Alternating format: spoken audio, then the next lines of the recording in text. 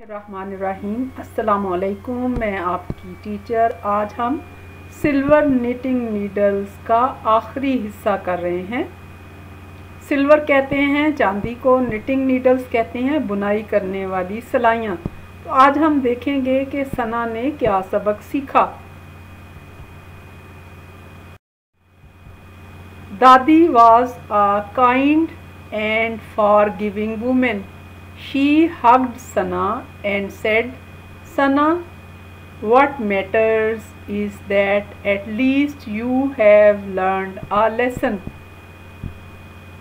Kind कहते हैं मेहरबान को फॉर गिविंग कहते हैं माफ़ करने वाले को और हग कहते हैं गले लगाने को और लर्न अ लेसन एटलीस्ट कहते हैं बिल आखिर आखिरकार और लर्न अ लेसन सबक सीखना।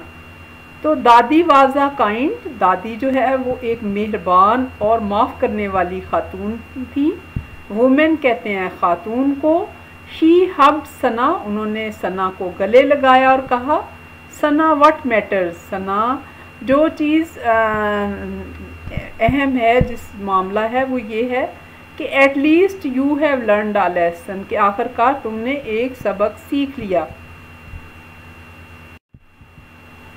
It is always better to tell the truth, no matter how difficult it is. Always कहते हैं हमेशा,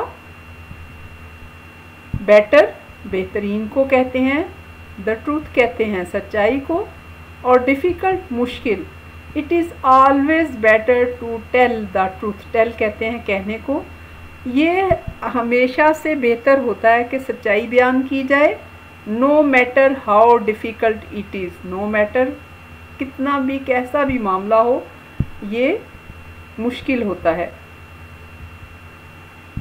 नबी करीम सल्लल्लाहु अलैहि वसल्लम ने इरशाद फरमाया, सच बोलने की आदत बनाओ, क्योंकि सच्चाई नेकी की राह दिखाती है और नेकी जन्नत में ले जाती है।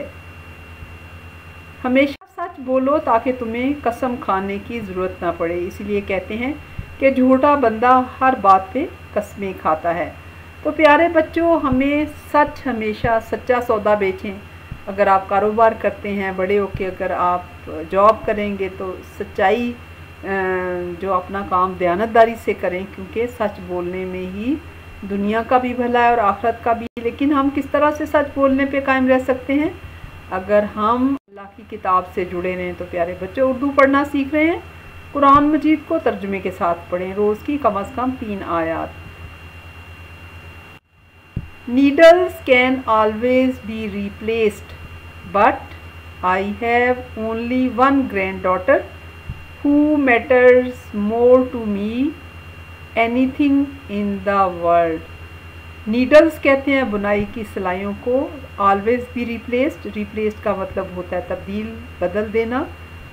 ग्रैंड डॉटर कहते हैं पोती या नवासी को और वर्ड कहते हैं दुनिया को। तो दादी ने कहा कि सिलाइयाँ तो हम बदल भी ली जा सकती हैं, लेकिन मेरी तो सिर्फ़ एक ही पोती है और मुझे दुनिया में किसी चीज़ से भी ज़्यादा अपनी पोती की फ़िक्र है। From that day onwards Sana realised the importance of truthfulness and the two best friends became closer than ever. From कहते हैं से that day onwards उसके बाद realized कहते हैं एहसास होना importance अहमियत ट्रूथफुलनेस कहते हैं सच्चाई को एंड फ्रेंड्स दोस्त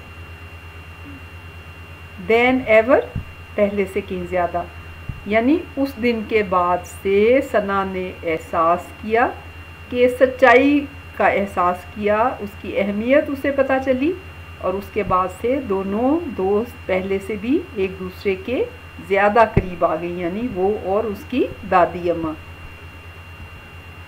तो प्यारे बच्चों, उम्मीद है आपको सबक पसंद आया होगा। इस चैनल को सब्सक्राइब करें, इस वीडियो को लाइक और शेयर करें और इसके बाद हम मशक़ी सवाल अगले में करेंगे।